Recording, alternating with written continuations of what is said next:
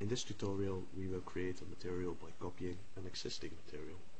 We Navigate to Logistics, Material Management, Material Master, Material, Create Special, Trading Goods. We will copy from Standard Lightning Purchasing, which we can find here. Once you're ready you can hit enter.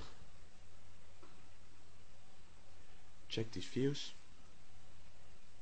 which seem alright to me. Now we have to fill in PA45, in my case, SA45, SO45, distribution channel 01. And done. I save them as defaults. Okay? Now we change the description in all languages.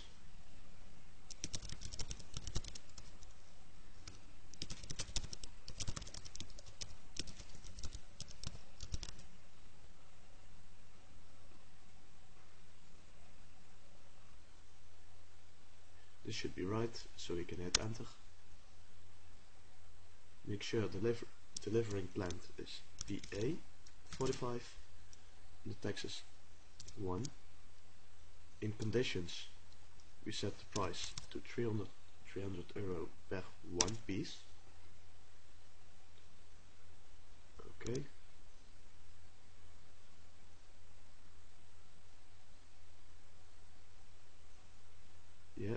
saved then go to the next step by hitting enter. Availability check on 2 blend and stem seems right. No loading group. Okay blend Amsterdam tax 1 very important Amsterdam Amsterdam. This should be about right.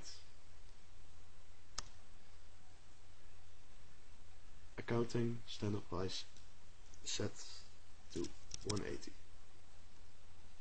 and we're done. Save the data yes. The material is created